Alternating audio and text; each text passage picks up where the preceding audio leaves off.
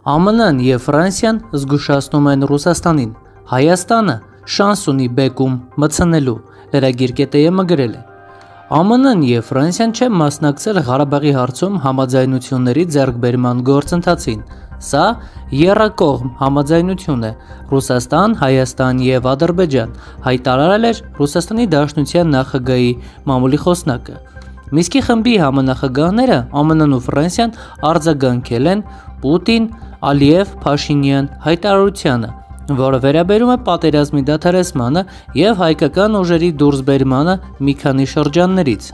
Մենք իգիտություն ենք ընդունել Ռուսաստանի միջնորդությամբ ռազմական գործողությունների դադարեցման մասին համաձայնագիրը եւ շահագրգռված կլինենք ավելին իմանալ այս նոր համաձայնագրի իրականացման մանրամասների եւ ծրագրերի մասին երբ հանկայանա։ Մենք Ուրախ կլինենք տեսնել բռնության վերջը, բայց առայժմ չենք կարող մեկնաբանել հրադադարի կամ հետագա քայլերի կոնկրետ մանրամասները։ Այն թե ինչպես են հակամարտության կողմերը անցալում նոր պայմանավորվածությունները, պետք է հարցնել նրանց, հայտարարել է ԱՄՆ պետդեպարտամենտի ներկայացուցիչը։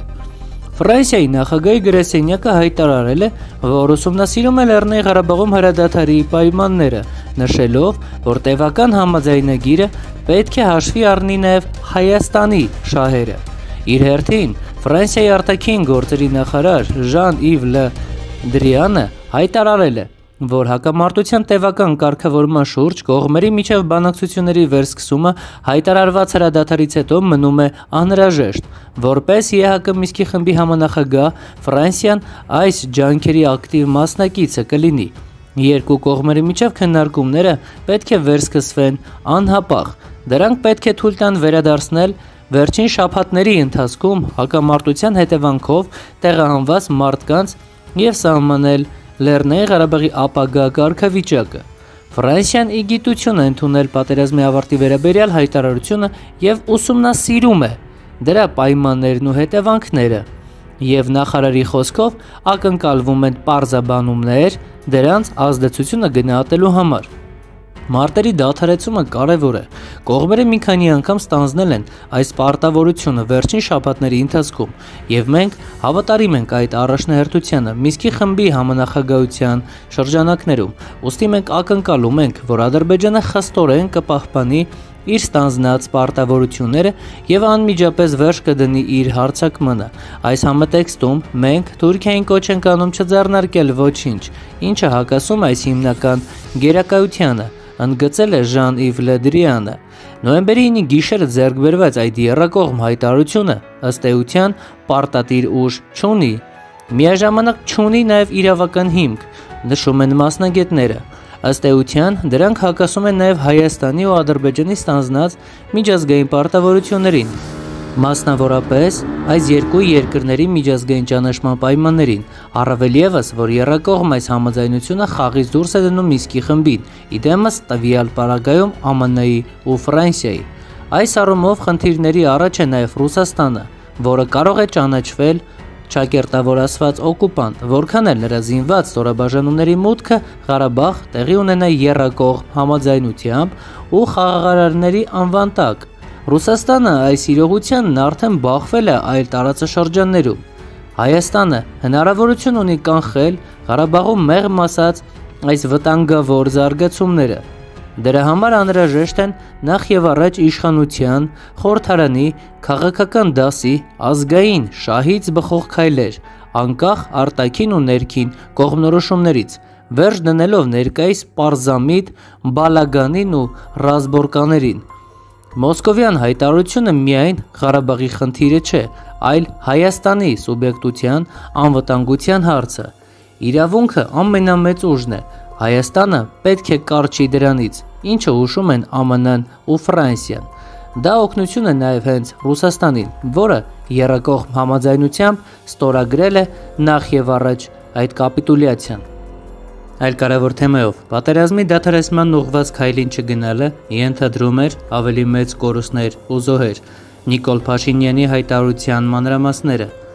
Արցախում պատերազմի դադարեցման ուղղված քայլին չգնալը ենթադրում էր ավելի մեծ կորուստներ ու զոհեր։ Armenpress-ի հաղորդմամբ վարչապետ Փաշինյանը այս մասին նշեց Facebook-յան սոցիալական ցանցի իր էջում ուղիղ հեռարձակմամբ։ Նրա խոսքով այդ որոշումը կայացվել է վերլուծությունների,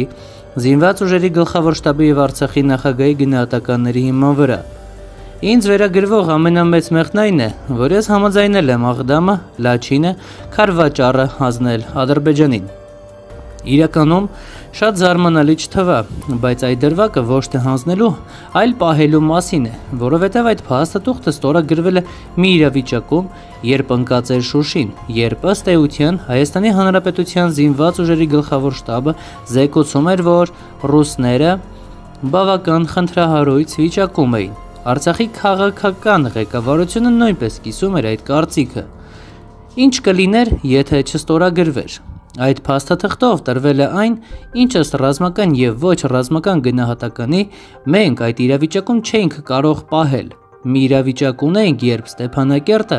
անպաշտպան էր մնացել, նշեց Նիկոլ Փաշինյանը։ Հայաստանի Հանրապետության վարչապետի խոսքով Եթե ռազմական գործողությունները շարունակվեին, ապա մեծ հավանականություն կար, որ հակառակորդի ուժերը կգրավեին նաև Ստեփանակերտը, Մարտունին, Ասկերյանը, պաշտպանական շրջանները, այնտեղ գտնվող զինվորներով կհայտնվեին շրջափակման մեջ։ Տեղի կունենար ամբողջական կոլապս։ Նիկոլ Փաշինյանը ընդգծեց, որ ահա այդ գնահատականի հիման վրա է կայացվել նման որոշում։ Վարչապետ Փաշինյանը պատահական չհամարեց նաև այն, որ այս օրերին առաջնագծից զինվորները վիդեո ուղերձներ են հղում, որով պաշտպանում են կայացված որոշումը։ Նրանք տեղում ասել են, տեսել են, հասկացել են իրավիճակը, որքան էլ այն դառը լինի։ Այդ պահին ունեինք իրավիճակ, երբ Ստեփանակերտը ուղիղ սպառնալիքի ներքո էր։ Զինված ուժերի գլխավոր շտաբի եւ Արցախի նախագահի գնահատականն այն էր, որ ըստ էության սիմվոլիկ է պաշտպանված Ստեփանակերտը հազարավոր զինվորներ կընկնեին շրջափակման մեջ եւ արդյունքում մենք կկորցնեինք այն մնացածը, ինչը այս փաստաթղթով արձանագրված է։ Ասաց նա. Անդրադառնալով Շուշի անկման, Շուշի շուրջ դավադրությունների մասին խոսակցություններին Հայաստանի Հանրապետության վարչապետը նշեց, որ Շուշի անկումից հետո երկու անգամ այն վերադարձնելու փորձ է կատարվել։ Մեկը ձախողվել է, Մյուսի ժամանակ մի ջոկատի հաջողվել է ներս մտնել Շուշի։ Թեպետ մեծ հաշվով իրադրությունը չի հաջողվել փոխել։ Այդ ամբողջ հակասությունները կապվում էին հենց դրա հետ, նշել է վարչապետ Փաշինյանը։ Բարեկամներ հավելենք, որ այդ վիդեոների, վարչապետի ասած այդ վիդեո տեսահողերցների բնույթը ոչ թե կայանում էր, որ նրանք պաշտպանում էին այդ տալասների հանձնումը, այլ նրանք առավելապես քննադատում էին ազգային ժողովում եւ հրապարակում կառավարության շենքի մոտ տեղի ունեցածը